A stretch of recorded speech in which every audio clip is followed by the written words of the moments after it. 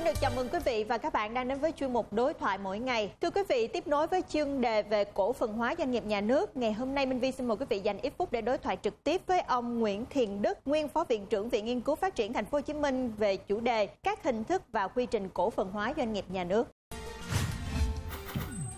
Cổ phần hóa còn tạo thuận tiện cho việc lưu động vốn nhà nước giữa các doanh nghiệp và ngành nghề khác nhau thông qua thị trường vốn làm tăng hiệu quả vốn trong sản xuất kinh doanh. Vấn đề là ở chỗ làm thế nào để việc thực hiện cổ phần hóa các doanh nghiệp nhà nước không gây ra những tiêu cực trong kiểm kê tài sản, đánh giá, thẩm định tổng lượng vốn của doanh nghiệp, đánh giá toàn bộ tài sản doanh nghiệp, định mức cổ phiếu và thu hút được đông đảo công nhân tham gia cổ phần. Bởi lẽ giải pháp chủ trương nào ngoài tính đúng đắn hợp lý của nó cũng có thể phát sinh những mặt trái phải phòng ngừa.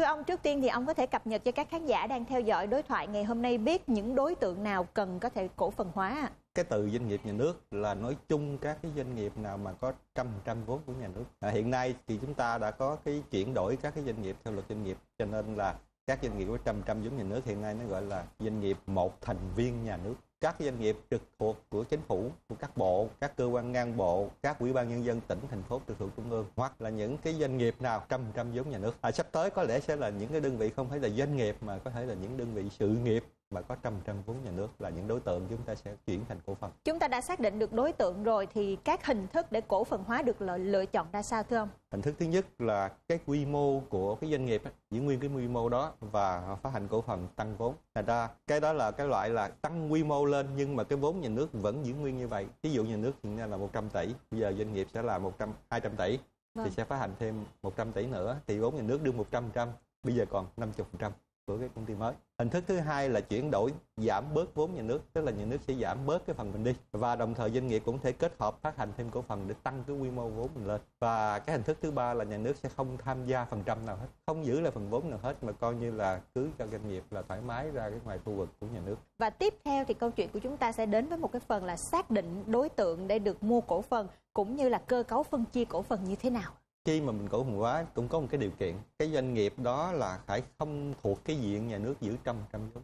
Tức là theo quy định của thủ tướng hiện nay là có phân loại doanh nghiệp ra. Vâng. có những doanh nghiệp nhà nước vẫn giữ 100 trăm vốn đó là không cổ phần hóa. Ví dụ như là các những doanh nghiệp về an ninh quốc phòng hóa chất chất nổ độc hại hoặc là những cái doanh nghiệp nhà nước sẽ giữ một cái cổ phần tỷ trọng lớn. Ví dụ như là dầu dầu mỏ khoáng sản hay là những cái mặt lương thực thực phẩm để cân bằng để ổn định cái thị trường thì đó là những cái loại nhà nước sẽ có tham gia và đặc biệt, trừ cái mà an ninh quốc phòng rồi này nọ thì đó là một trăm vốn nhà nước không cổ phần hóa còn đối tượng và để điều kiện điều kiện mua cổ phần thì thế này. Đã gọi là cổ phần hóa là ta xã hội hóa đồng vốn của nhà nước, cho nên là mọi thành phần trong xã hội đều tham gia mua cổ phần được. Trong đó có đông đảo người lao động. Thì hiện nay trong cái quy định nhà nước chia ra làm hai loại mà có như ba loại. Loại thứ nhất là các cái nhà đầu tư, tức là các người mua cổ phần đó tức là các cá nhân, các tổ chức ở trong nước, với là Việt Nam á. Và cái số lượng này thì mua không hạn chế. Tối thiểu á, những người này, tức là công nhân viên trong doanh nghiệp là sẽ được ưu tiên. Trong quy định có một cái trường hợp là những thành viên của ban chỉ đạo cổ phần hóa hay cái tổ giúp việc hay các đơn vị tư vấn cổ phần hóa thì không được mua cổ phần lần đầu khi cổ phần hóa.